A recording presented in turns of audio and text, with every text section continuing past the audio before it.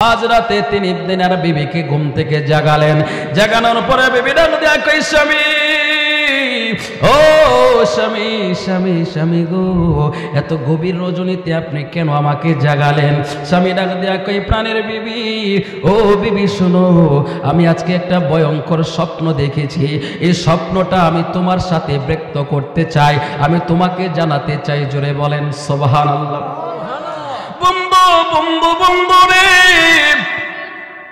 ওই আল্লাহওয়ালা ব্যক্তিটার নাম কি, নামটাও জানার দরকার। ইমাম কর্তিবি বলেন ওনার নাম হলো সুলতান ইবনে আদেল রহমতুল্লাহ আলাই নামটা কি? সুলতান ইবনে আদেল। নামটা মনে থাকবে? নামটা মনে থাকলে ওয়াজটা শুনতে মজা পাবেন। সুলতান ইবনে আদেল। সুলতান ইবনে আদাল, গভীর রজনীতে বিবিকে ডাক দেখি বিবি বিবি রে, আমি আজকে গভীর রাতে একটা স্বপ্ন দেখলাম। বিবি ডেকে বলে, স্বামী, কি স্বপ্ন আপনি দেখেছেন?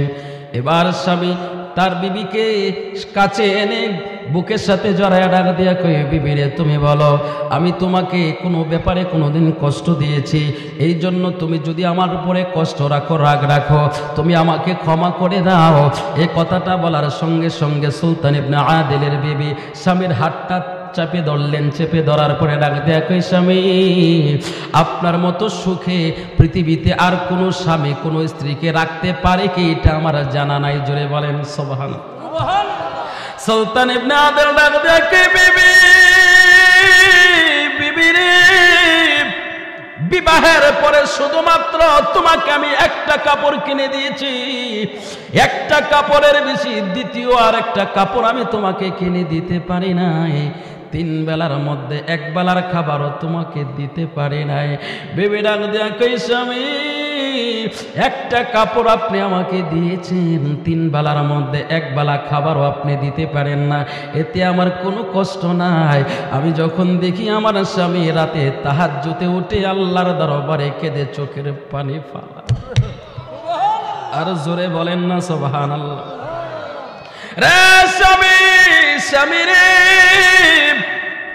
আমি আপনাকে কোনোদিন প্রেসার দেয় নাই স্বামী। আপনি আমার জন্য আরেকটা কাপড় কিনে দেন। কিন্তু মৌবাড়ির মা বোনদেরকে বলব, মা গো মা, ও মা, প্রতিটা স্বামী নষ্ট হয়। বেশিরভাগ অধিকাংশ সময় স্বামী দুর্নীতিবাজ হয়, ঘুষখুর হয়। স্বামী অবৈধ কাজ করে স্ত্রীর প্রেসারের কারণে কথা কণ্ঠে কিনা? স্বামীর রোজগার সারাদিনে পাঁচশো টাকা। স্ত্রী তার কাছে আবদার করে বসছে, তুমি আমাকে জামদানি শাড়ি দিবা, দাম আড়াই হাজার টাকা। ঠিক নেই? এখন স্বামী ওই কাপড়টা কিনতে তার অবশ্যই সিটারি করতে হবে, কারণ তার রোজগার মাত্র পাঁচশো টাকা। কথা হয় না? পাঁচশো টাকা রোজগারে সে কি আড়াই হাজার টাকার দামদানি শাড়িটা কিনতে তার কি বাটপারি করতে হবে না? সিটারি করতে হবে না? দু নম্বরই করতে হবে না? ও মার মৌবাড়ির আম্মা, মাগো তুমি তোমার স্বামীর ইনকামের বাহিরে চাহিদা দেখায়ও না, স্বামীর কাছে প্রেসার দিও না দিও না।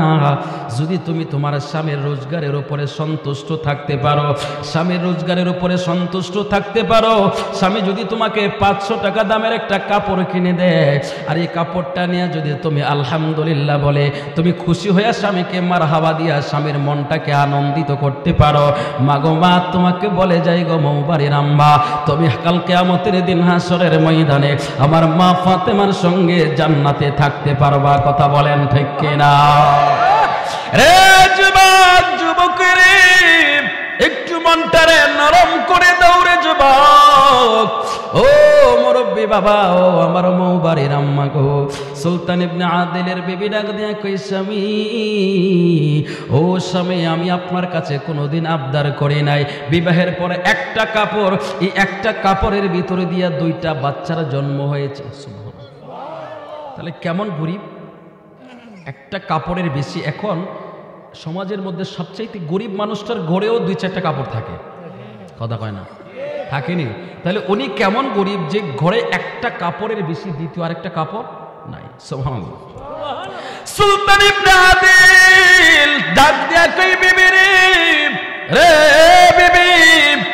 আমি যে স্বপ্নটা দেখেছি বড় ভয়ঙ্কর স্বপ্ন দেখেছি। স্বপ্নের মাধ্যমে আমাকে ইঙ্গিত দেওয়া হয়েছে, আমার হায়াতের বেলা শেষ। মনরে হঠাৎ আজরাইলে এসে ফাঁসি দিবে তোমার গলে, শেষ করিবে অসাদের জীবন, কইরে বলামন ওরে দম থাকিতে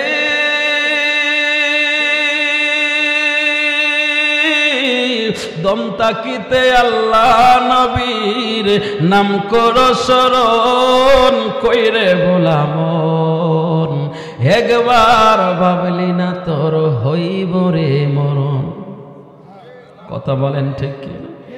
সুলতান ইবনে আদিল, বিবিকে ডাক দেয়া কই বিবি? আমার মনে হয় হায়াতের বেলা ফুরাই আসছে। স্বপ্নের মাধ্যমে আমাকে ইঙ্গিত দেওয়া হয়েছে রে বিবি। এবার বিবি ডাক দেয়া কই, স্বামী স্বামী গো, এটা কোন কথা আপনি আমারে শুনাইলেন? ও স্বামী, আপনি আমার একটা কাপড় কিনে দিতে পারেন নাই, তাতে তো আমার কোনো আফসোস নাই। ও স্বামী, আপনি সারা দিনে একবেলা খাবার দিতে পারেন নাই, তাতেও তো আমার কোনো আফসোস নাই। স্বামীরে আজকে যদি আপনি মারা যান, আমি এই দুইটা ছোট ছোট নাবালেক বাচ্চা নিয়ে আমি কার দুয়ারে যাব? আরও জোরে বলেন না সোবাহান সুলতান ডাক দিয়া বিবি বিবি রে বিবি চিন্তার কোনো কারণ নাই। মুমিনদের জন্য মুমিনের ঠিকানা একটা। মুমিনের সাহায্যকারী হইলেন আমার আল্লাহ। কথা বলেন ঠিক কিনা? সুলতান ইবনে আদিলের বিবি ডাক স্বামী আল্লাহ যদি আমাদের হেফাজতকারী হয়, তাহলে তো আর কোনো চিন্তা নাই। বলে, হা, কোনো চিন্তা নাই রে বেবি। এবার সুলতান ইবনে আদেল ডাক দেখে বিবি? ও বিবি, তাহলে এখন তুমি মনোযোগ দিয়ে দুটো কথা শোনো আমার। আমার দুইটা ওসিয়ত তোমার কাছে আমি রেখে যাচ্ছি। এই দুইটা ওসিয়ত তোমাকে পালন করতে হবে। এবার স্বামী ডাক দেখে বিবি, শোনো, আমার প্রথম ওসিয়ত হচ্ছে যদি আমি দিনের বেলায় মারা যাই, সূর্য ডোবার আগে আমাকে দাফন করতে হবে। আর যদি রাতের বেলায় মারা যায়, সূর্য ওঠার আগে তুমি আমারে দাফন করে দেবা। এবার সুলতান ইবনে আদিল কথাটা বলার পর এবার চিন্তা করল, আমার বিবি তো একা মানুষ, মহিলা মানুষ, কি করে করবে? এবার বিবিকে সান্ত্বনা দিয়া বলতেছে, বিবি রে, ও বিবি, ওই নির্জন এলাকা থেকে একটু পাহাড়ের চূড়া থেকে একটু ভিতরে গেলে লোকালয় আছে। ওখানে গ্রামের মধ্যে একটা মসজিদ আছে। ওই মসজিদে আমি সকলের সাথে নামাজ আদায় করতাম। আমাকে সবাই চিনে, সবাই সম্মান করে, শ্রদ্ধা করে। যদি আমি রাতের বেলায় মারা যাই, আমার দুটো সন্তান দিয়া ইমাম সাহেবের কাছে খবর পাঠাইবা। ইমাম সাহেব মুসল্লিদেরকে নিয়ে এসে আমাকে দাফন করবে, কাফন করবে। কিন্তু আমাকে সূর্য উঠার আগে দাফন করবে। আর দিনের বেলায় মারা গেলে সূর্য ডুবার আগে দাফন করবে। এই কথাটা তুমি বাচ্চাদের দিয়া খবরটা পৌঁছায়া দিও। জোরে বলেন না সবাহান আল্লাহ বম্বু বম্বু রে। সুলতান ইবনে আদিল বিবির সাথে কথা বলতে বলতে ঘুমিয়ে পড়লেন। হঠাৎ করে বিবির ঘুম ভেঙে গেল। মাঝরাত্রে শেষ রাত্রের দিকে তাহাজ্জতের সময়। এবার চিন্তা করে, কি ব্যাপার? আমি তো কোনোদিন আমার স্বামীর নামাজের জন্য ডাকি নাই। আজকে তো চলে যাচ্ছে। আমার স্বামী তো ঘুম থেকে উঠতেছে না। তার কারণ কি? আস্তে করে স্বামীর কাছে গেল। স্বামীর হাতটা ধরলো। ধরার পরে তিনি বুঝতে পারলেন, সুলতান ইবনে আদেল আল্লাহর ডাকে সারা দিয়া চলে গেছে। বন্ধুরে, বন্ধু, যে মহিলাটা স্বামী হারায়, ওই মহিলাটার একবার জিজ্ঞাসা করে দেখিও, স্বামী তুমি হারাইছো, স্বামী ছাড়া রাতের সময়টা তোমার কেমন ভাবে কাটে? বলতে পারবে না পারবে না, কলিজা ফেটে যাবে। যে স্বামী হারাইছে, সে জানে স্বামী হারার যন্ত্রণা কত বেশি। কথা বলেন ঠিক কি না? বন্ধু একটা মহিলার জন্য বিবাহের পরে তার সবচাইতে বড় গার্জিয়ান হলো স্বামী। কথা বলেন ঠিক কিনা ও মা, মাগো, যে গার্জিয়ান তোমার স্বামী সেই স্বামীর কদর করো সেই স্বামীর সেবা করো সেই স্বামীর সেই স্বামীর খেদমত করে তুমি জান্নাতে যাওয়ার সহজ রাস্তা আছে, কথা বলেন ঠিক কিনা? সুলতান ইবনে আদিলের বিবি হতবম্ব হয়ে গেল, আল্লাহ, আমি দুটোই নাবালেক শিশু নিয়ে কার কাছে যাব, কোথায় যাব? তার আগে তো আমার স্বামীর ওসিয়ত পালন করতে হবে। এমন সময় দুটো সন্তানকে দিয়া খবর পাঠায়া দিল। ইমাম সাহেব বইলা দিল, যাও তুমি তোমার মাকে বলে দিও। এই রাতের বেলায় নির্জন জঙ্গলার ভিতরে কেউ যাবে না, এখানে বাঘবল লোকের ভয় আছে। সকালবেলা এসে আমরা তোমার বাবার কাফন দাফনের ব্যবস্থা করব। এই কথা বলে সন্তান দুটোকে বিদায় করে দিল। সুলতান ইবনে আদিলের বিবি কই না না না, আমার স্বামীর শেষ উসিয়ত আমাকে পালন করতে হবে। এবার মনে পড়ে গেল, স্বামী বলেছিল, বিবি রে, ও বিবি কারও যদি কেউ না থাকে, দুনিয়ার কোনো মানুষ যদি সাহায্য না করে, মোমেনের সাহায্যকারী আমার আল্লাহ জোরে বলেন সবাহান আল্লাহ সুলতান ইবনে আদিলের বিবি স্বামীর লাশটাকে পাহাড়ের উপরে রেখে দিয়া দুইটা হাত আল্লাহর দরবারে তুলে দিল বলেন তো দেখি বান্দার ফরিয়াদ আল্লাহ শুনে কি শুনে?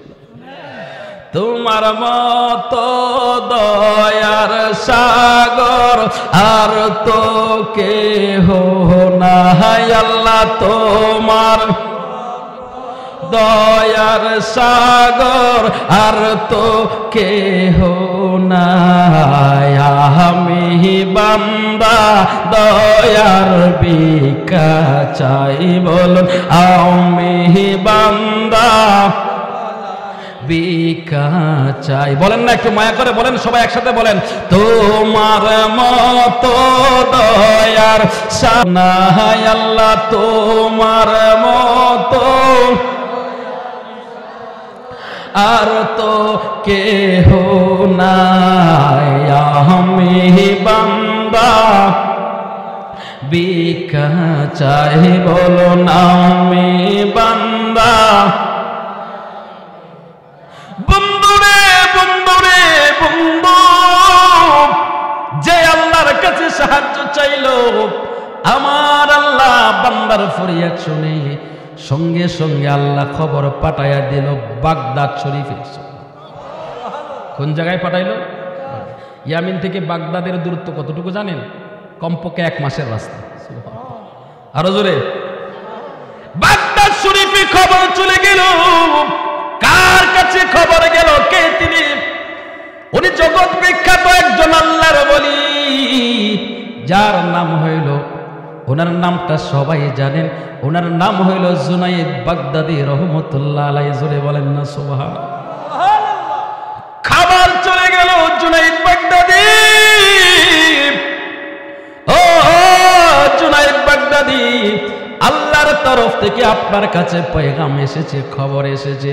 জুনাইদ বাগদাদি কই, কিসের খবর? জুনাইদ বাগদাদি যখন এই কথা জিজ্ঞাসা করলেন, আল্লাহর দুধ দেখে বলে, ওগো জুনাইদ বাগদাদি, ইয়ামিনের প্রদেশে একজন আল্লাহর বলির ইন্তেকাল হয়েছে। আল্লাহ আপনাকে খবর পাঠাইছে। আপনি নিজে যাইবেন, যাইয়া ওনার জানাজা করবেন, কাফন করবেন, দাফন করবেন, জোরে বলেন সোবাহান আল্লাহ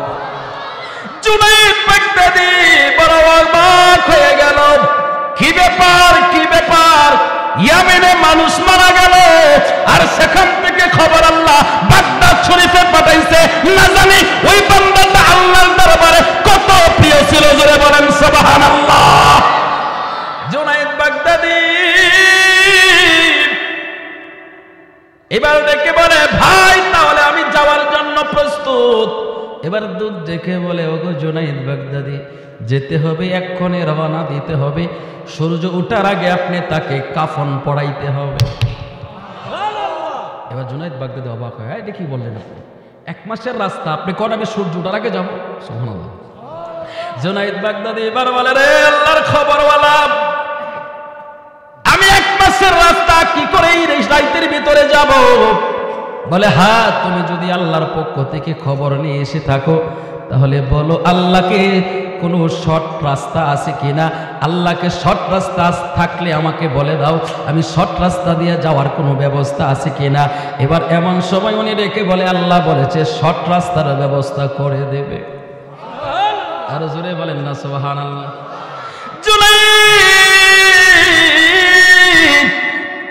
ওই মজলিসের মধ্যে ওনার বারো জন মরিদ উনি সহ বারো জন, এগারো জন মরিয়ে মরিয়েদার জুনাইদ বাগদাদি সহ কতজন হইল?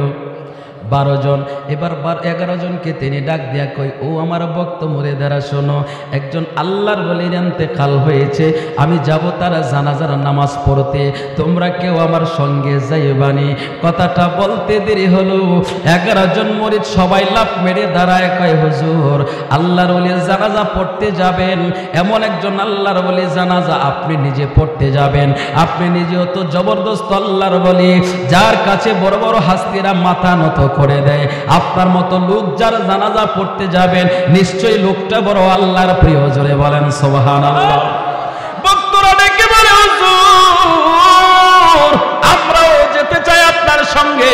এবার বারো জন রেডি হয়ে গেল। বারো জন ডেকে বলে, হুজুর, কোথায় যাবেন? কইয়া মেনে যাব?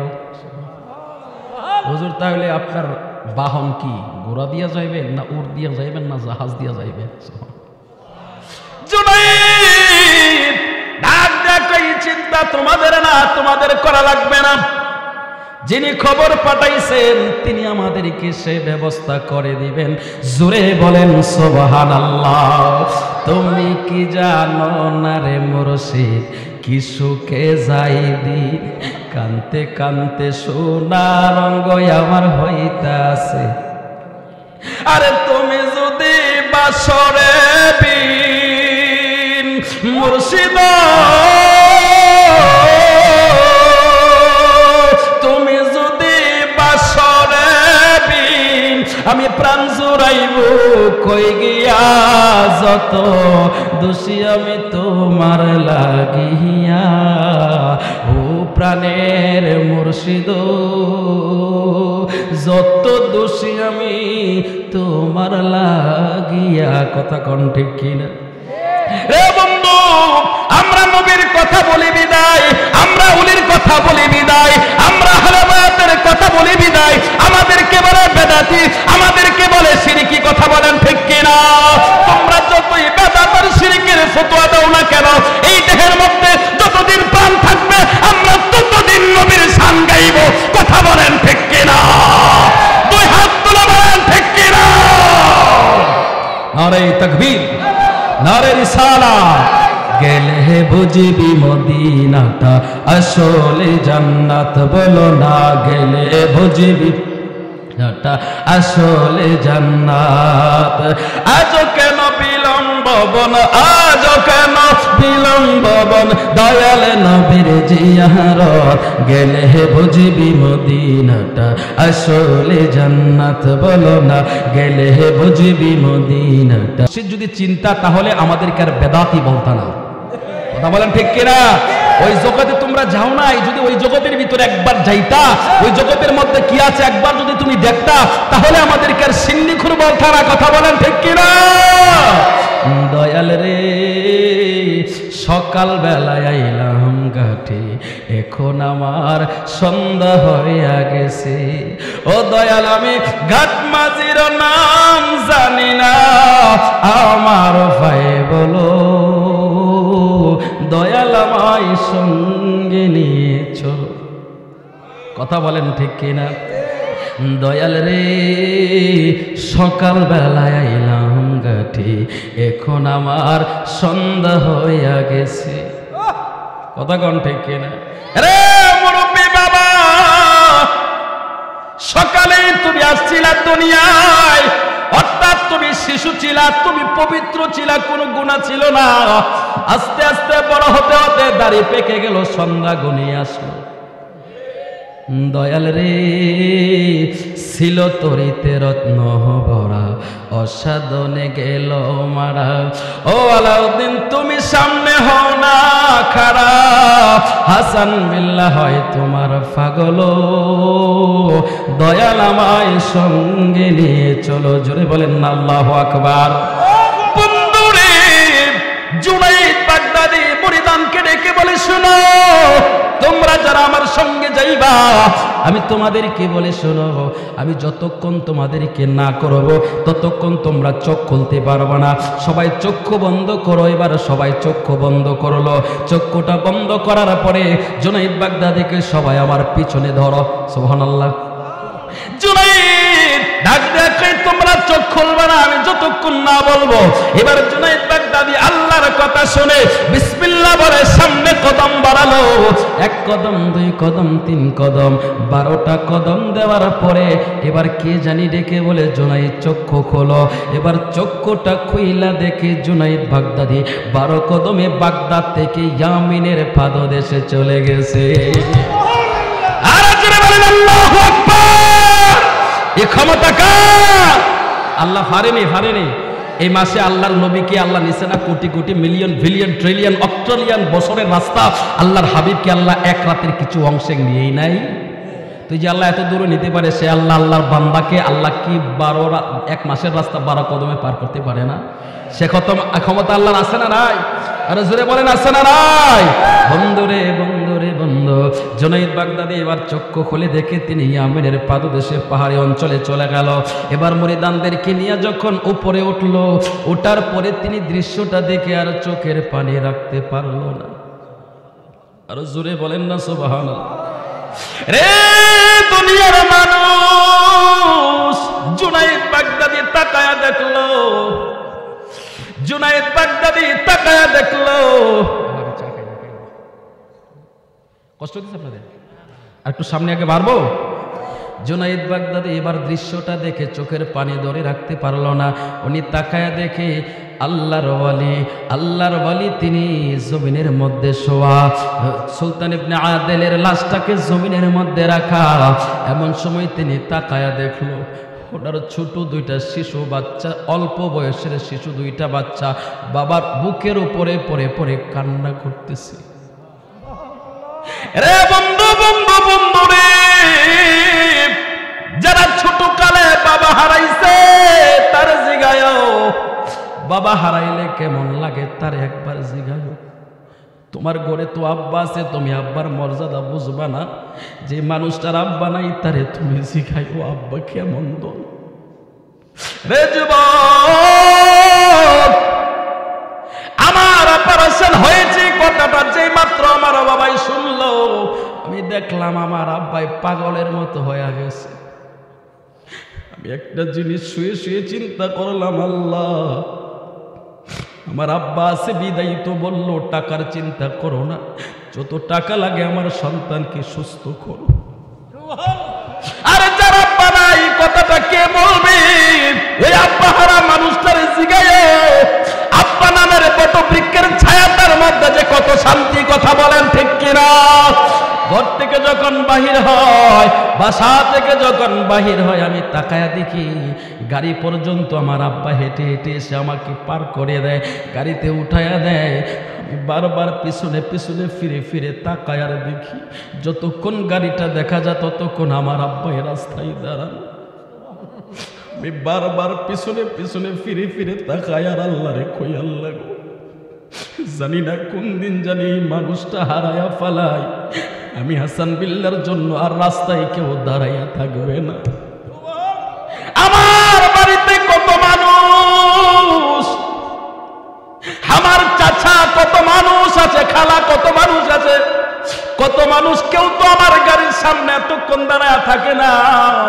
যতক্ষণ দেখা যায় ততক্ষণ আমার আব্বাই দাঁড়ায় থাকে, আর চিন্তা করি, আল্লাহ, যেদিন আব্বা থাকবে না, কে আমার জন্য দাঁড়াইয়া থাকবে? যুবক যুবক রে অনুরোধ করে বলি, ওই আব্বারে চিনো, ওই আব্বা থাকতে আব্বার কদর করো, তোমার জীবনটা ধন্য হইয়া যাইব। শোনো আসে কার পিতা মাতা অমূল্য রতন। শোনো আসে কে গণ পিতা মাতা অমূল্য রতন। বলেন, শোনো আসে কে গণ পিতা মাতা অমূল্য রতন। ওরে পিতা মাতার সেবা করলে পিতা মাতার সেবা করলে খুশি হইরে নিরঞ্জন। পিতা মাতার সেবা করলে খুশি হই রে নিরঞ্জন। পিতা মাতা অমূল্য রতন। শোনো বাসকে গণ, পিতা মাতা অমূল্য রতন। কথা বলেন ঠিক কিনা? রে বন্ধু বন্ধু বন্ধু রে ও আমার বউবাড়ির যুবক, অনুরোধ করে বলি রে যুবক, ওই সেবা করো, ওই আব্বার কদর করো। তোমার আব্বা বৃদ্ধ মানুষ তোমার জন্য রোজগার করতে পারে না। কিন্তু বিপদে পড়লে সবার আগে মসজিদে যাইয়া সেজদায় পড়ে চোখের পানিটা সবার আগে তোমার আব্বাই তোমার জন্য ফালাবে। কথা কোন ঠিক কিনা? এই জন্যই তো সায়ের বলেছে, বাবার মুখেতে, মায়ের মুখেতে যে তুলে দিবে গো খানা, তাতে খুশি রবানা সেবিও পিতাকে সেবিও মাথাকে সেবিও আমার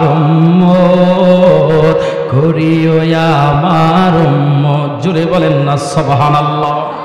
বন্ধুরে বন্ধুরে বন্ধু জুনাইদ রইল। শিশু দুইটা বাচ্চা বাবার বুকে পইরা কান্না করে ডাকে, আব্বা ও আব্বা, তুমি তো গতকাল আমাদের ডাকে সাড়া দিয়েছ।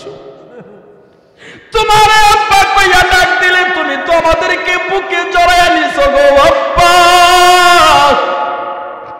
আজকে আমরা দুটো ভাই তোমার আব্বা আব্বা কইয়া ডাকতেছি। তুমি কোনো সাড়া দাও না, তোমার কোনো আওয়াজ নাই। তুমি কি এই জীবনও আর কোনোদিন আমাদেরকে খুলে নিতা না? এই জীবনে আর কোনোদিন কি তোমার কুলে উঠতে পারব না? এই দৃশ্যগুলো জুনাই বাগদাদি তাকায়া তাকায়া দেখতেছিল। আল্লাহ আকবার।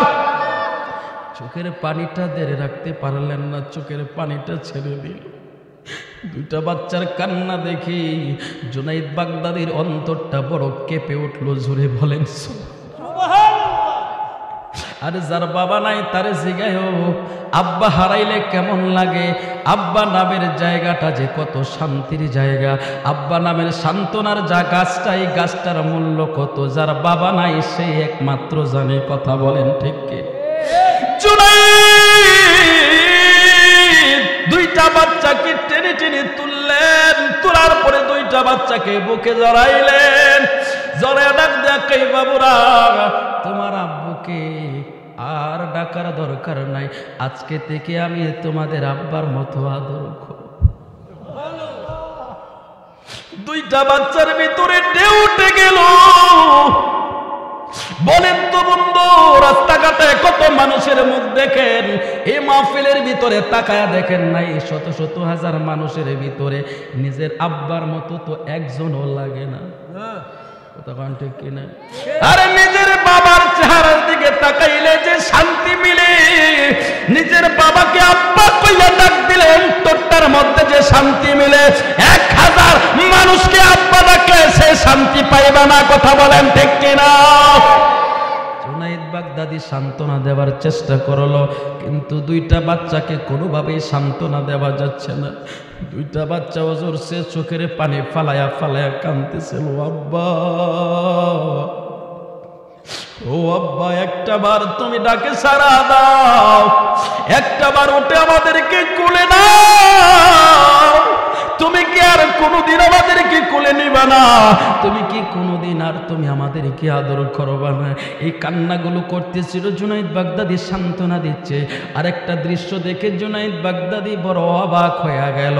ইনি তাকায়া দেখে জুনাইদ বাগদাদি, সুলতান ইবনে আদেলের শরীরের মধ্যে এমন একটা পোশাক পরানো, এমন একটা কাপড় দিয়া তাকে ডাকা। তার কাফনের কাপড় পরানোর মতো কোনো কাপড় নাই। ওনার ঘরের পরিবারের একটা কাপড় দিয়ে তোনাকে ঢেকে রেখা হয়েছে। এই মাথার দিক দিয়ে ডাকলে পায়ের দিক খালি হয়ে যা পায়ের দিক দিয়ে ডাকলে মাথার দিকটা খালি হয়ে যা। জোরে কে সুবাহান আল্লাহ কইতেন জুনাইদ সুলতান আদিলের ঘরের পিছনে দাঁড়ায় বিবিকে ডাক দিয়া কয়, ওগো সুলতান ইবনে আদিলের বিবি, তোমার স্বামীকে ডাকার মতো কি কোনো কাপড় নাই? সুলতান ইবনে আদিলের বিবি ডাক দিয়া কয়, না না না, আমার ঘরের মধ্যে দ্বিতীয় কোনো কাপড় নাই। আর তাহলে কাপড় না থাকলে তার কাফন কে দিয়া পরাবো? এমন সময় জুনাইদ বাগদাদির সঙ্গে সঙ্গে মাথা থেকে পাগড়িটা টান দিয়া খুইলা ফালাইছে। আর জোরে বলেন সুবহান জুনাইদ বলে, আমার পাখির কি মূল্য কি মূল্য? যার জন্য আমার আল্লাহ এক মাসের রাস্তা আমাকে বারো কদমে পার করাইলো, যার জানাজা পড়ার জন্য আমার আল্লাহ নিজে বাগদাদে খবর পাঠাইলো। তার যার তার কাফনটা যদি আমার মাথার পাগড়ি দিয়া হয়, তাহলে আমি মনে করব আমার পাগড়িটা ধন্য। আর জোরে বলেন না আল্লাহু জুনাইদ বাগদাদে পাগড়িটা খোলার সঙ্গে সঙ্গে এমন সময় এগারো জন মুরিদ সবাই নিজেদের মাথার পাগড়ি খোলা শুরু করছে। জুনাইদ বাগদাদি কই তোমরা খোলো কেন? বলে, হুজুর এত বন এত বড় ভাগ্যবান ব্যক্তিকে আপনি নিজের মাথার পাগড়ি দিয়া কাফন পড়াইবেন আমরাও চাই আমাদের পাগড়ি দিয়া, এই ভাগ্যবান ব্যক্তির পাগড়িটা যদি দিয়ে আমাদের কাফন পরানো হয়, আমরা হাসরের ময়দানে এর উসিলাই ক্ষমা পাইয়া যাব। আর জোরে বলেন, আল্লাহু আকবার। এবার বলেন, ইয়া রাসূলুল্লাহ। দেখায় আইলাম নূরের সহবি ও, দেখায় আইলাম নূরের ছবি, আবার যাইয়া দেখি নাই আমার বানাও রে দয়াল। তোমার নামে দেওয়ানা, আমার বানাও রে মুর্শিদ। তোমার নামের দেওয়ানা, চিল্লায় বলেন না সোহান আল্লাহ আপনাদের কষ্ট হইতেছে? খারাপ লাগতেছে? সামনে সামনে বাড়বো? আসুন আসুন আমার ভাইয়েরা, এবার জুনাইদ বাগদাদি রহমতুল্লাহ আলাইকাই তোমরা বারো জন পাগড়ি দিলা। একটু আগে একটা কাপড় নাই তাকে ডাকার মতো, এখন পাগড়ি হইল কয়ডা? সুবহান আল্লাহ বারোটা পাগড়ি! এবার সুলতান ইবনে আদিলকে ডাকার জন্য বারো পাগড়ি হয়ে গেল। এবার গোসল শেষ, কাফন পরানো শেষ, এবার জানাজা হবে। এমন সময় তিনি জানাজা পড়ানোর জন্য এমন একজন বড় হাস্তি, জুনাইদ বাগদাদি রহমতুল্লাহ আলাইয়ের মতো এত বড় জবরদস্ত আল্লাহর বলে উনি জানাজা পড়াবে পিছনে বারো জন মরিদ, বারো জন খলিফা দাঁড়ানো। এবার জানাজা পড়াবে কে জানে পিছন থেকে ডেকে ডেকে বলতেছে, রে জুনাইদ, একটু অপেক্ষা করো। আল্লাহর নেককার বান্দার জানাজাটা আমারে পড়তে দাও।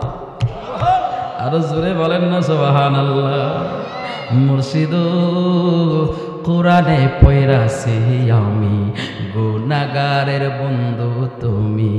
ও দয়াল, তুমি আমার জগৎ স্বামী, তুমি আমার জগৎ স্বামী মুর্শিদ বাবা মৌলানা জোরে বলেন না সোহান জুনাইদ, চিন্তায় পড়ে গেল, মনে হয় আমার থেকে কোনো বড় হাস্তি বা বড় কোনো আল্লাহর বলিকে আল্লাহ খবর দিছে আমারে যেমনি আনছে আল্লাহ, মনে হয় তারেও এমনি আনছে। একটু অপেক্ষা করি, দাঁড়ালেন, দাঁড়ানোর পরে। এমন সময় উনি আসছেন, আসার পরে উনি তাকায় দেখলেন ওনার মুখের মধ্যে মাস্ক পরা মেকআপ করা। ওনার মুখটা খোলা না, ঢাকা ছিল। তো উনি বলতেছে, জোনাই, তুমি পিছনে দাঁড়াও, আজকে সুলতান ইবনে আদিলের জানাজাটা আমি পড়াবো। আর জোরে বলেন সোমান সুলতান ইবনে আদিল পিছনে দাঁড়ায় গেল। উনি জানাজার নামাজটা পড়াইয়া দিলেন। জানাজার নামাজটা পড়ানোর পর উনি খুব দ্রুত গতিতে ছুটে চলে যাওয়ার চেষ্টা করলেন। এমন সময় জুনাইদ বাগদাদি তারে টান দিয়া ধরছে। আরও জোরে। এমন সময় তিনি ডেকে বলে, জুনাইদ, রে, জুনাইদ আমাকে ছেড়ে দাও। আমি বড় ব্যস্ত মানুষ, আমার দায়িত্ব আছে অনেক।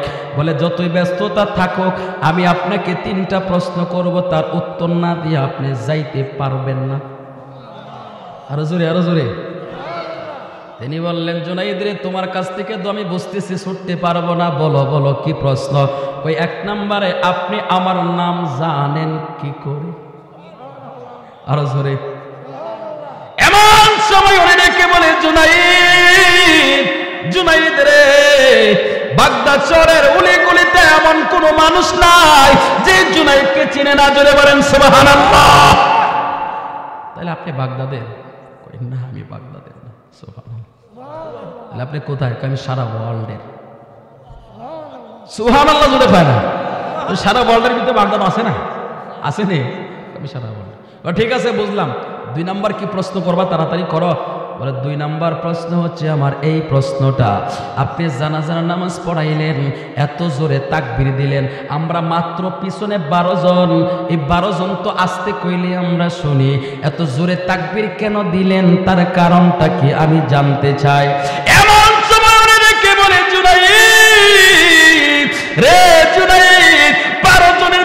আসতে দিলে হয়।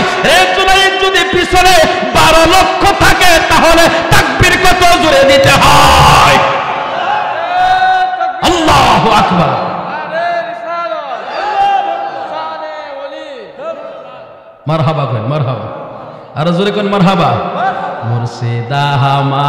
আমার বন্ধু কোন। ও সন্দেহ না আয় গো আমি মুর্শিদ নামে বড়। ও শান্তি পাই। চিল্লা কেন আমার হবা কত দুঃখ আমার মনে বাজান দুঃখী। হের সে মহানায়। হায়রে সকল দুঃখ দূর হইত মুরশি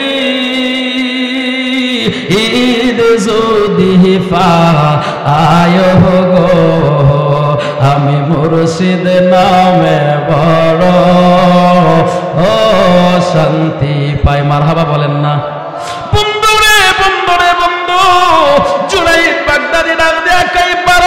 মানে তুমি দেখলা তোমার পিছনে বারো জন মানুষ দাঁড়াইলা। না না না রে জুনাইদ খুশি করেছে এটা এমন আল্লাহকে বাধ্য করেছে এত বেশি পরিমাণে আল্লাহকে খুশি করেছে। আমার আল্লাহ খুশি হইয়া তার জানাজার মধ্যে বারো লক্ষ ফেরিস্তা বাড়াইয়া দিতে আর জবান খুলে বইল আল্লাহু আকবার। কয় লক্ষ? রে বারো লক্ষ কি আসতে বলে শুনব? জুনাইদ বাগদাদি কয় আমার আর বুঝতে হবে না বুঝা ফেলাইছে। তাহলে আমি জানতে চাই পরিচয় আর আপনাকে বিরক্ত করব না। শেষমেশ আমি জানতে চাই আপনার পরিচয়টা আপনি বলেন কই জুনাইদ রে পেছো তো ফালাইছস তোর থেকে তো আমি ছুটতেও পারতেছি না কই ছুটতাতেন না কয়ালাম। উনি সঙ্গে সঙ্গে মেকআপটা খুলে দিয়া ডাক দিয়া কি তাকায়া দেখ আমারে। উনি অবাক দৃষ্টিতে এত সুন্দর মানুষ ডাক আপনি কি? আপনার পরিচয়টা বলেন, আপনার নাম বলেন। উনি ডেকে বলে, জুনাইদ রে, খিজির আলাই সাল্লামের নাম শুনছ? আর জোরে, খিজিরের নাম শুনছ? সোহান জুনাইদ বাগদাদি, সঙ্গে সঙ্গে হাত চেপে ধরলেন, হাতের মধ্যে চুমু খাইলেন বন্ধু, পিরাউলিয়ার হাতে, মুরব্বীর হাতে চুমু খাওয়া, এটা সুন্নতে সাহাবা, কথা বলেন ঠিক কিনা? চুমু খাইলেন, চুমু খায়া বলতেছে, আপনি কি সেই খেজির? যে খেজিরের সাথে দেখা করার জন্য একজন জাদ্রেল পাওয়ারফুল নবী মুসা আলাইসাল্লাম সাক্ষাৎ করতে গিয়েছিল? হ্যাঁ আমি সেই নবী। এখন কোরআন থেকে বলব রাজি আছেন? নাকি আমার সময় শেষ? বলতে পারব? তাহলে আসুন আসুন আসুন আমার ভাইয়েরা। বক্তা আনলে কিন্তু সিগন্যাল দিয়ে না আমারে এখন কিন্তু কোরআনে ঢুকে গেলাম।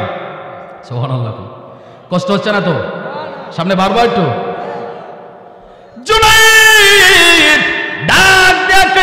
কি সেই খিজির? যে সাথে সাক্ষাতের জন্য মুসা গেছিল সোহান বলে হ্যাঁ হ্যাঁ আমি সেই খিজির। ও বন্ধু বন্ধু রে, মুসা আলাইসাল্লাম কেন খিজর আলাইসাল্লামের সাথে সাক্ষাৎ করতে গিয়েছিলেন? এটা বোখারি শরীফের হাদিসের মধ্যে আসছে। এটা বোখারি শরীফের সুস্পষ্ট হাদিস। আমি শুধু ব্যাখ্যা করে, আমি তর্জমা করে বাংলা অর্থটা আপনাদেরকে শোনাচ্ছি, শোনেন। মুসা আলাইসাল্লাম একদিন মজলিসের মধ্যে দাঁড়ায়া বলতেছেন, ওনাকে একজনে প্রশ্ন করল গো পেগম্বর মোসা, এই জামানার মধ্যে সবচাইতে জ্ঞানী ব্যক্তিকে আপনি একটু বলেন। মুসা আলাইসাল্লাম চিন্তা করলেন, আমি তো নবী নবী থেকে জ্ঞানী ব্যক্তি তো আর কেউ হতে পারে না। কথা ঠিক নেই? তো উনি বলে ফেললেন, আমি আল্লাহ কই, না না না রে মুসা, তোর কথাটা আমার কাছে পছন্দ লাগছে না। আরও জোরে। আমার মুসা রে। ও, মুসা, না না না। মুসা আলাইহিস সালাম কই, আল্লাহ তাহলে আমার থেকে জ্ঞানী ব্যক্তি পৃথিবীতে আছে। আল্লাহ কই হা, আছে। এবার মুসা কই আল্লাহ, তাহলে তো আমি তার সাথে দেখা করতে হবে। আল্লাহ কই, তাহলে যাও। এবার আমার আল্লাহ নিজে তার বন্ধুর কাছে ওয়াজ করতেছে। আল্লাহর ওয়াজ আল্লাহর বন্ধুর কাছে করে। এই ওয়াজটা যে কত মধুর, কত শান্তির আর কত দামি, কোনো তুলনা নাই। কথা কণ্ঠে কিনা? ও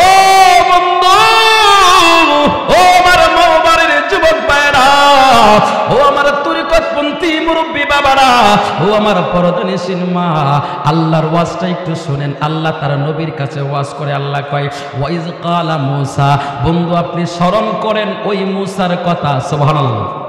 কি করেন? স্মরণ করেন। স্মরণ করেন মানে কি? কথাটা আগের থেকে জানা ছিল। যে কথাটা জানা থাকে, সেটাকে স্মরণ করে দেওয়া যায়। কথা কোন ঠিক কিনা? আর যদি আগের থেকে না জানতেন, তাহলে বলতেন কি, শুনো। আগে জানো না এখন কি? শুনো, এখন আল্লাহ কি কইতাছে? ওয়াইজ কলা মুসা, আপনি স্মরণ করেন মুসা নবীর কথা, সুবহানাল্লাহ। তার মানে নবীজি জানতেন। তাহলে এর থেকে প্রমাণ হয়ে যায়, আমার নবী মুসা আলাইসাল্লামের জামানাতেও ছিলেন। কথা ঠিক কিনা? শুধু মুসা আলাইহিস সাল্লামের জামানাত না, আমি ভালো করে শোনাই দিচ্ছি, আপনাদেরকে শুনেন। আমার কওমের ভাইয়েরা, আহলে হাদিসের ভাইয়েরা, জামাতের ভাইয়েরা, আমার নবী আদম আলাইহিস সাল্লাম থেকে শুরু করে এই পর্যন্ত যত মানুষ পৃথিবীতে আসছে, সব যুগে সর্ব অবস্থায় আমার নবী ছিল জুড়ে বলেন সুবহানাল্লাহ। সে হাদিস কোথায় পাবেন আমি বলে দিচ্ছি বুখারী শরীফ খুলুন বুখারী শরীফ হাদিসটা কে রবায়াত করেছেন নবীজির একজন প্রিয় সাহাবী হযরত আবু হুরাইরা জোরে বলেন সুবহানাল্লাহ হযরত আবু হুরাইরা থেকে হাদিসটা বর্ণিত আন আবি হুরাইরা রাদিয়াল্লাহু তাআলা আনহু قال قال رسول الله صلى الله عليه وسلم بعثت فيكم من خير قرين بني آدم قرنا فقرنا حتى كنت من القرون الذي منه জোরে বলেন সুবহানাল্লাহ রাবাহুল বুখারী বুখারী শরীফের সুস্পষ্ট হাদিস এই হাদিসের মধ্যে আসছে নবী বলেন ও আবু হুরাইরা শোনো আমি নবী আদমের উত্তম যুগে উপনীত হয়েছি। অর্থাৎ আদমকে সৃষ্টি করার আগে, চোদ্দ হাজার কোটি বছর আগে আমি নবী ছিলাম জুড়ে বলেন আর ধাপে ধাপে পৃথিবীতে আমি নবী বিরাজমান ছিলাম। আজও আছি। মানুষ মনে করে, আমি রৌজা শরীফে আছি। না, আমি সকল উম্মতের হৃদয়ের মধ্যে আছি। জুড়ে বলেন, সুবহানাল্লাহ।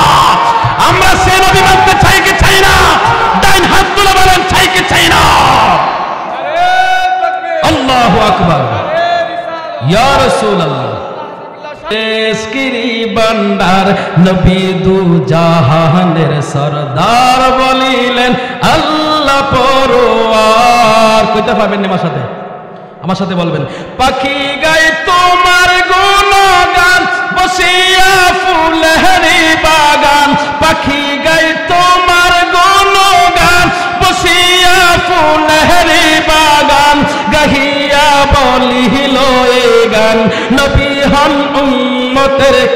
কান্ডার নবী দু জাহানের সরদার বলিলেন, আল্লাহ পরোয়ার, নবী মুর জান, নবী মুর প্রাণ। বলেন, নবী মুর জান, নবী মুর প্রাণ, নবী মুর এসকিরি বান্দার। নবী দু জাহানের সরদার বলিলেন সুবহান আল্লাহ বলেন সুবহান আল্লাহ আরও জোরে বলেন সুবহান আল্লাহ বন্ধু বন্ধু, বন্ধুরে আমার, এখন বলতে পারেন আগামীকাল কিন্তু আপনাদের এলাকার মৌলবীরা বলবে, হাসান বিল্লাহ বন্ডা। এই বন্ডায় কয় নবী বলে জানেতে ও নিকটে। এটা আমি বলি না, আল্লাহর কোরআন বলে, আল্লাহ বলেন, আন্নাবী আউলা বিল মুমিনিনা মিন আনফুসিহিম। আল্লাহ কয়, মুমিনের জানেছে ও আমার নবী নিকটে। আরও জোরে আরও জোরে। আমি বলতেছিলাম আল্লাহ তাই বন্ধু স্মরণ করেন। ওয়াইদ ক্বালা, যখন সে বলেছিল মুসা মুসা আলাইহিস সালাম বলেছিল, লিফাতা, তার যুবক সঙ্গীকে, লা আমরা থামব না হাত্তা যতক্ষণ আবলাগু মাজমা আল বাহরাইন। দুই সমুদ্রের সঙ্গম স্থল আমরা না পাই ততক্ষণ পর্যন্ত আমরা যাত্রা বিরতি করব না। আর জোরে, আও আমদিয়া হকবা। যুগ যুগ ধরে আমরা চলতে থাকব। এখানে আসুন, আল্লাহ মুসাল্লাহ সাল্লামকে বললেন, ওই জায়গায় দুই সমুদ্রের সঙ্গম স্থলে তুমি আমার ওই বান্দা জ্ঞানী ব্যক্তির সাথে তুমি সাক্ষাৎ করতে পারবা। কিন্তু তুমি যে যাইবা, যাওয়ার আগে একটা কাজ করবা, একটা মাছ নদী থেকে ধরবা, এই মাছটাকে ভাজি করবা, তারপরে এই মাছটাকে নিয়ে যাইবা। এই মাছটা যেখানে যাইয়া জিন্দা হয়ে যাবে, সেখানে যাইয়া তুমি আবার ওই বান্দার সাথে দেখা হয়ে যাবে। আর জোরে। ও যদি সাগরে ডুব দিয়া কই আল্লাহ, তুমি তো একটা জিন্দা মাছ। নিয়ে যাবার কথাই বলতে পারতা, কিন্তু মাছ ধরবে, বাজি করবে, তারপরে নিবে, কেন এই কথা বললা? আল্লাহ কাই আমার অলির দরবারে যে খেলা আছে, সেই খেলাটা দেখা দরজ আরও জোরে বলেন না সোহান আল্লাহ আরও বড় করে বলেন, আল্লাহ আমার অলির দরবারে কি আছে?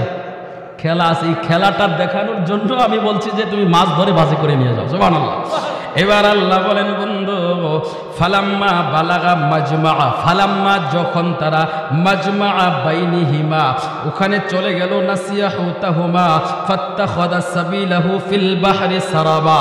ওখানে যখন তারা চলে গেল ফাত্তাখাদা সাবিলাহু, এই মাছটা কি করল? বাহারাইনে সারাবা, সাগরের সমুদ্রের একটা সঙ্গম, একটা রাস্তা করে মাছটা জীবিত হয়ে চলে গেল, সুবহানাল্লাহ।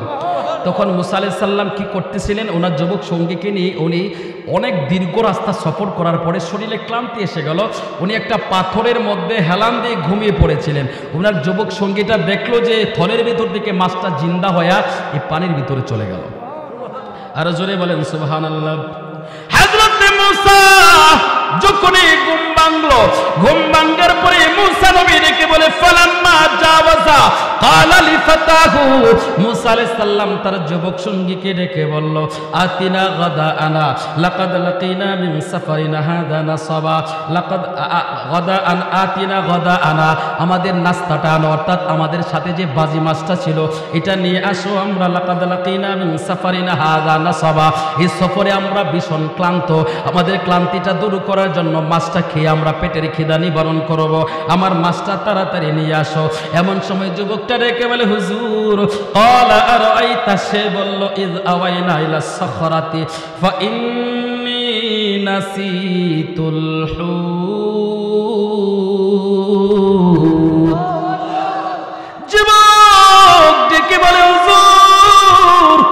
আপনি কি লক্ষ্য করেছেন বলে, না না না না, কি লক্ষ্য করব? বলে, হুজুর, আপনি যখন মাথা রেখে বিশ্রাম নিচ্ছিলেন, হুজুর, আমি দেখলাম বড় আশ্চর্যজনকভাবে এই মাছটা জিন্দা হইয়া এই পানির ভিতরে চলে গেল। আরও জোরে বলেন।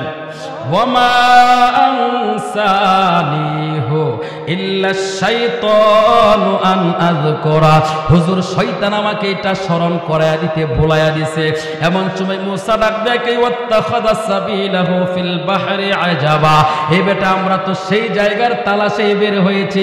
চলো চলো, আর দেরি করো না। মা ওনারা বেক করলেন আলা ওনাদের পায়ের পদচিহ্ন ধরে ওনারা বেক করে আবার ওই জায়গায় চলে গেলেন। যাওয়ার পরে আমি সংক্ষিপ্ত করে দিচ্ছি, একটু ভালো করে অন্তরের কান লাগায় শুনেন। ফাওয়াজাদা আবদান মিন ফাওয়াজাদা, ওরা দুইজনে যাইয়া দেখল আবদান এমন একজন বান্দা, মিন ইবাদিনা, যাকে আল্লাহ তাআলা বান্দাদের ভিতর থেকে বাছাই করেছেন। আতাইনাহু রাহমাতাম মিন ইনদিনা, যাকে আল্লাহ তাআলা নিজে অনুগ্রহ করেছেন, করুণা করেছেন। ওয়া আল্লামনাহু মিন লাদুন্না ইলমা, আল্লাহর পক্ষ থেকে তাকে এলেম শিক্ষা দেওয়া হয়েছে? জোরে বলেন হযরতে মুসা ওই জায়গার মধ্যে দেখলেন দেখার পরে ওনাকে সালাম দিলেন। সালাম দেওয়ার পরে উনি সালামের জবাব দিলেন। ও বন্ধু, উনি কে ছিলেন? তাফসিরে খাজেন তাফসিরে কুর্তুবি, তাফসিরে বাইজাবি তাফসিরে রুহুল বায়ান, তাফসিরে রুহুল মানি তাফসিরে কাশাব তাফসিরে হুসাইনি, এই সমস্ত তাফসিরগুলো খুলে দেখেন উনি অন্য কেউ না।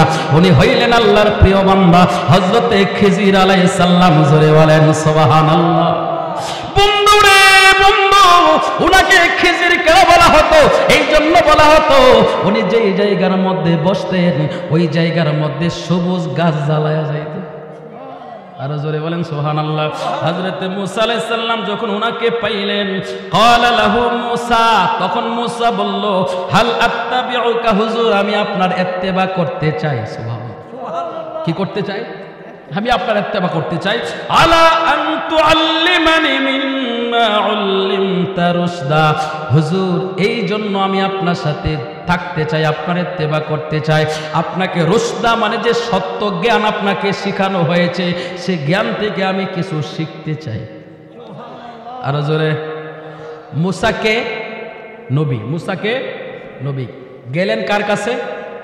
অলির কাছে। সুবহানাল্লাহ কইতেন না। ও নবীরে যদি আল্লাহ উলির কাছে পাঠাইতে পারে, আমরা পাগলেরা উলির দরবারে যাই, আমাদেরকে বেধা শরীকে ভূত কথা কন ঠিক না ওরা বুকা বুকা কথা বলেন ঠিক কিনা? মুসা নবী যদি উলির দরবারে যাইতে পারে, মুসা নবীকে যদি আল্লাহ পাঠাইতে পারে, আর সে কথাটা কোরআনে আল্লাহ ওয়াজ করতে পারে, এর মানে হচ্ছে আল্লাহ বুঝাই দিলেন, ইনডাইরেক্টলি আমার অলির দরবারে যাও, আমার অলির দরবারে আমার রহমত আছে। জোরে বলেন, সুবহানাল্লাহ। আমরা সে অলি আল্লাহর দরবার চাইকে চাই না ডাইন হাত তুলে বলেন চাইকে চাই না নারে তাকবীর, নারে রিসালাত। আল্লাহ আকবার বলেন, যে বেটায় আমার অন্তরে বলব আমি কারদারি তুমি না প্রাণের মুর্শিদ নাই সংসারে।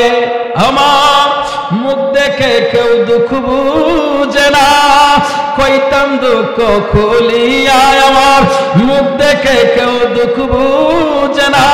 কইতাম দুঃখ খুলিয়া, কত দূরে কেমন করে রইলে তুমি বলিয়া। খারাপ লাগে? কষ্ট হইতেছে? সোয়ালে তো কইবা আসানবিল্লা তো বন্ডারে আলি গান গাইছে। ঠিক নেই? আমি যে কোরআন শোনাইতেছে, এইটা দেখবেন কইতো না একবার গান গাইছে। ঠিক নেই? কইলে খোক আমরা গানই গাই, ঠিক নেই? এটা আমরা নবীর প্রেমে আমরা ভালো লাগে, আমরা শান্তি পাই, কথা কন ঠিক কিনা? ফতোয়া দিলে দাও শেষে আবার কয়েকটা শোনা মনে, কি কন? একটু আগে কোরআন শোনাইলে, কি বলেন? কষ্ট হইতেছে না তো বাবা? আর একটু সময় দেওয়া যাবে? আসুন আসুন আসুন আমার ভাইয়েরা। এমন সময় তিনি যখন এই কথা বললেন, এবার কলাত তিনি বললেন, কে বললেন? কলাত তিনি বললেন মানে খেজির আলাই সাল্লাম বলেন সাবরা। বলেন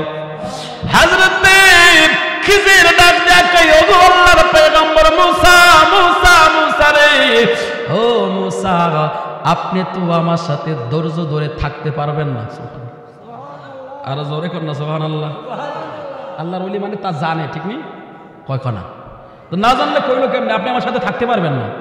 আমি জানলে নে বলতে পারব, না জানলে বলতে পারব। তিনি বললেন, আল্লাহ কোরআনে উড়াই দিয়েছে কথাগুলো। কি ওজনদার, মজবুত কথা। ও কাইফা তাসবিরু আলা মালাম তহিত বিহি খবরা। যে ব্যাপারে আপনার খবর নাই, জ্ঞান নাই, সে ব্যাপারে আপনি কেমনে ধৈর্য ধারণ করবেন? সুবহানাল্লাহ কইলেন। হযরত মুসা বড় বলে কি বলে কি কি বলেন আপনি? বলে হ্যাঁ আমি যা বলেছি, ধৈর্য ধরতে পারবা না।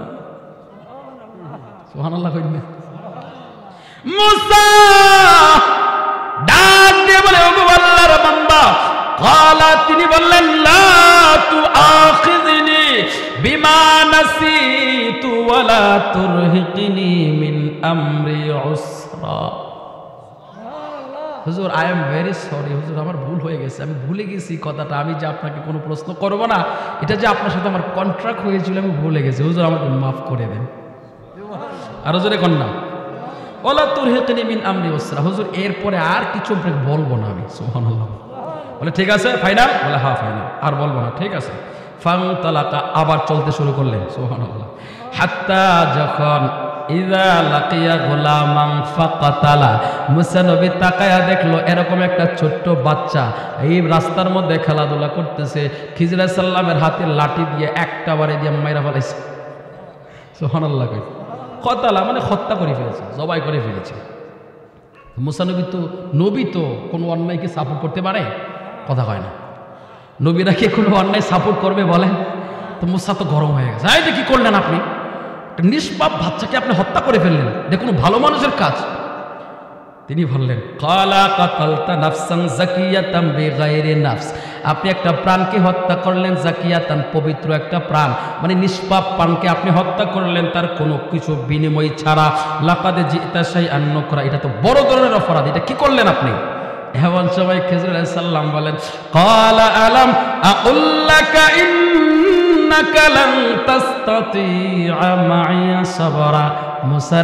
কইছিলাম না, তুমি ধৈর্য আর জোরে তুমি আগে কইছিলাম, তুই ধৈর্য ধরতে পারবি না। ঠিক হইতো। আমার তো কথা ছিল না এটা।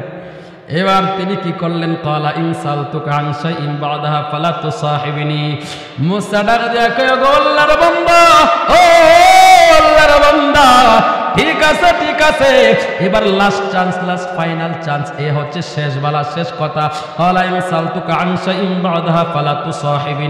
আপনি আমার সাথে যে কন্ট্রাক্ট হয়েছিল, এরপরে যদি আমি আপনাকে কিছু বলি, আপনি আমার কাছ থেকে আপনি মুক্ত হয়ে যাবেন। কদ বালাগতামিল্লা দুনিয়া ওজরা এরপরে আপনি আর কোনো হুজুর থাকবে না। হুজুর, আপনি আমার বিদায় করে দিয়েন। বলে, ঠিক আছে, এবার ফাইনাল ফাং তলাকা আবার চলতে শুরু করে দিলেন। হাত্তা যখন ইদা আতায়া আহলা করিয়াতিন, এক নগরীর উপর দিয়ে যাচ্ছিলেন।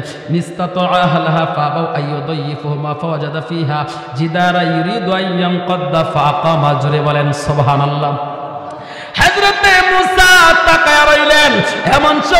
ওই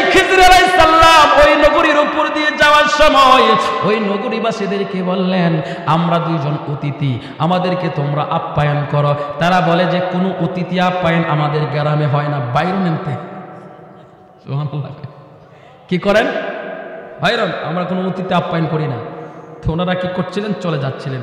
এমন সময় হজরত মুসা আলাই সাল্লাম তাকায়া দেখলেন একটা দিয়াল হেলে দোলে পড়ে যাচ্ছিল। এমন সময় মুসা আলাই সাল্লাম তাকায় রইলেন। এই দিয়ালটা এই গ্রামবাসীর জন্য বড় ক্ষতিকর অবস্থায় ছিল। এমন সময় উনি তাকায়া দেখলেন খিজির সাল্লাম হাতের আঙ্গুল দিয়ে ইশারা করলেন, বা লাঠি দ্বারা গুতা দিলেন এটা সোজা হয়ে গেছে। সারা গ্রামের মানুষ মিলে চেষ্টা করছে, পারল না। উনি গুতা দিয়েছে, ভালো হয়ে গেছে। আরও জোরে বলেন সুহান আল্লাহ আল্লাহ অলিদের খেলা কেউ বুঝবে, বলেন? হ্যাঁ? অলিদের খেলা কেউ বুঝবে? বুঝবে না, সাধারণ মানুষ বুঝবে না। ওই ভিতরে যারা ডুব দিছে তারা বুঝতে পারবে। কথা কোন ঠিক কিনা?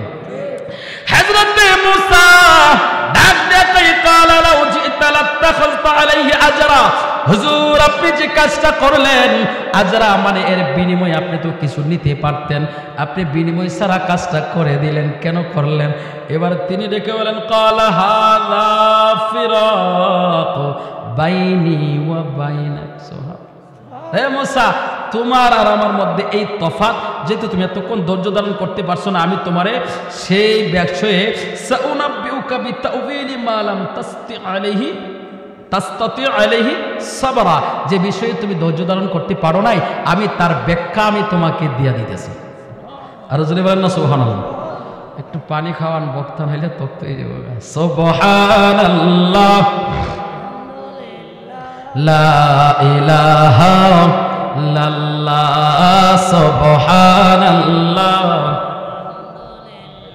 লা আকাশ জমিনের মালিক তুমি। ধনী দরিদ্র করো তুমি। আকাশ জমিনের মালিক তুমি। ধনী দরিদ্র করো তুমি।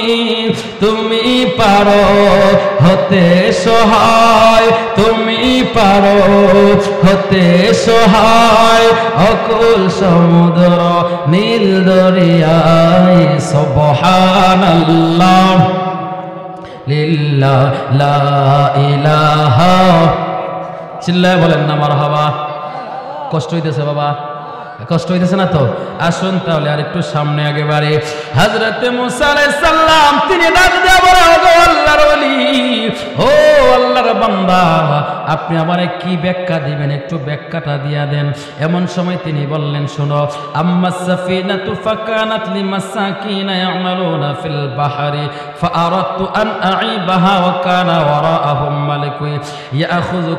সাফিনাতিন গাসবা। জোরে বলেন, সুবহানাল্লাহ। এই যে নৌকার ব্যাপারটা ছিল রে মুসা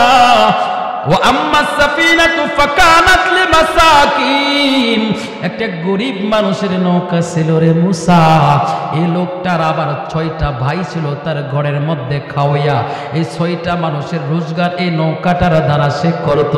ও মুসা মুসা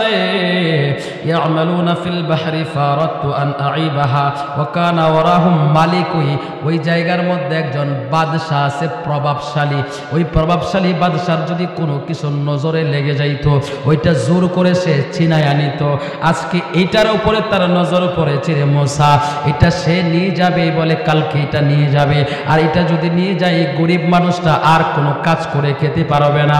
তার ছয়টা মানুষ ঘরের মধ্যে খাওয়াইন না। এই ছয়টা মানুষের খাবার সে কোথায় থেকে রোজগার করবে? রে মোসা মোসা মোসা রে, এই জন্য আমি তার নৌকাটা ছিদ্র করে দিলাম। সারা রাত্র পানি ওইটা নৌকাটা যখন ডুবে থাকবে, সকালে এসে যখন ওই বাদশাহ এসে দেখবে।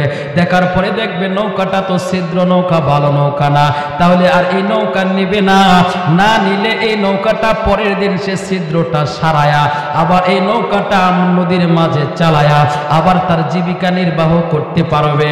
মোসা, তুমি এবার বলো, আমি কি কাজটা ভালো করলাম না মন্দ করলাম? আরও জোরে। হুজুর নিঃসন্দেহে আপনি ভালো কাজ করছেন, সুবহানাল্লাহ। নৌকাটা যদি একবারে নিয়ে যেত, তাহলে বেটা, বেচারা একবারে অচল হয়ে যেত, ঠিক না? এখন তো আবার আপাতত ছিদ্রটাকে ভালো করে সারায়া সে কি করতে পারবে আবার? চালাইতে পারবে, কথা কোন ঠিক কিনা? বলে, হুজুর, আপনি খুব ভালো কাজ করছেন। তাহলে, মুসা, তুমি তো এই সময় সিদ্ধা গেছিল, রাগ হয়ে গেছিল। সুবহানাল্লাহ। মুসা মুসা রে। এবার তুমি শুনো দ্বিতীয় ব্যাখ্যারে মুসা। এবার মুসা আলাইহিস সালাম কই হুজুর, দ্বিতীয় ব্যাখ্যাটা বলেন। আম্মাল গুলাম ফাকানা বাওয়াহু মুমিনাইন। জোরে কোন সুবহানাল্লাহ। রে মুসা মুসা রে! আম্মাল গুলাম, ওই যে বালকটা দেখেছিলাম, ওই বালকটা ফাকানা আবাওয়াহু। তার পিতা এবং মাতা মুমিনাইন। উভয় ছিল মোমেন সুবহানাল্লাহ। আর জোরে বলেন তার পিতা মাতা উভয়জন ছিল মোমেন।